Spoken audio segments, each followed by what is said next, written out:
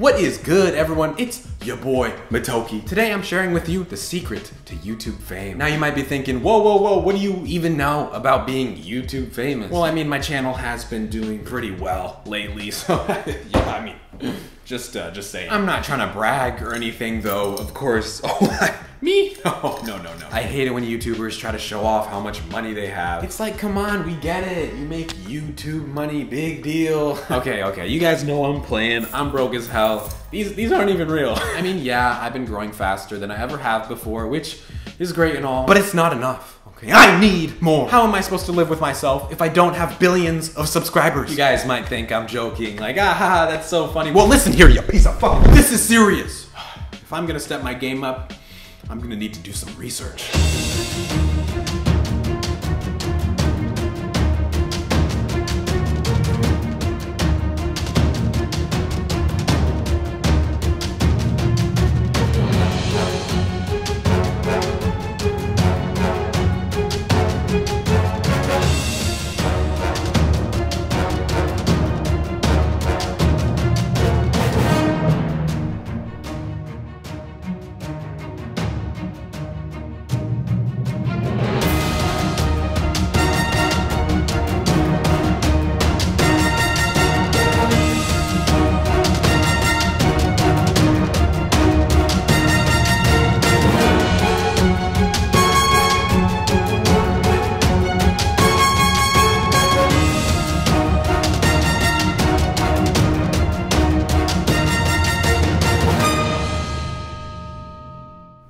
I'm sorry guys. I didn't I didn't find anything. Sorry to lead you on. That was kind of a dick move. but for real guys, there isn't some easy way to become famous on YouTube. Getting lots of subscribers and views doesn't happen overnight. It's all about making great original content.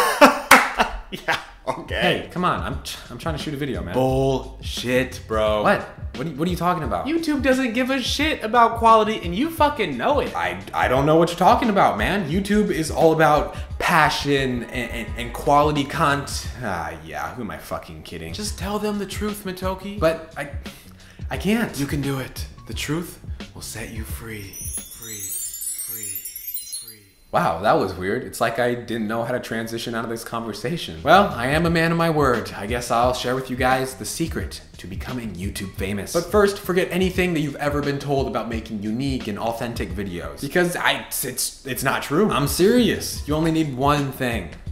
Clickbait. If you don't know what clickbait is, it's basically when you try to get people to click on your video by whatever means possible. They usually have crazy titles and thumbnails that grab people's attention, but for the wrong reasons. Storytime YouTubers do a great job with clickbait. Their videos are either fake or exaggerations of real life events. Here, let's do one as an example. So say you're walking around in public and somebody compliments you. Hey, I, I like your glasses. Oh, thank you. Have a good one. yeah. Now take that experience and completely change it. Oh my gosh, guys. You would not believe what just happened. I was just walking home, minding my own business, and some stalker came out of nowhere and called me ugly. Oh, I'm like on the verge of crying right now. You get the idea. It's pretty simple. Now just repeat that concept for any situation. Say you're making a room tour video and you're showing off your closet. Perfect. Now use that to your advantage and say it's your coming out video. So many views. Say you're vlogging and you order some pizza. Because who doesn't love pizza? Am I right? After you get the pizza and everything, take it entirely out of context and you're good to go. Quality content. If you're filming and you accidentally give yourself a paper cut, just add some Photoshop on top of that and you're set, baby. Views for days. If you start coughing while filming, great. That's exactly what you need to use. Millions of views. If you turn on a light switch in your video, boom, you're done. Great fucking video. Did you recently eat a lot of food? Easy. You're pregnant now. Front page of YouTube. Yep,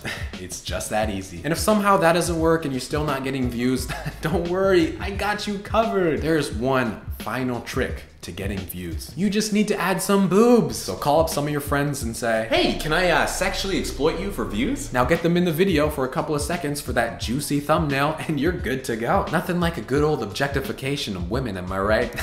so it seems like becoming famous on YouTube is a lot simpler than you might have thought. Even if you don't make great original content, all you have to do is make clickbait titles and thumbnails that don't even reflect the actual video. Seems like in the end, you just have to be cocky.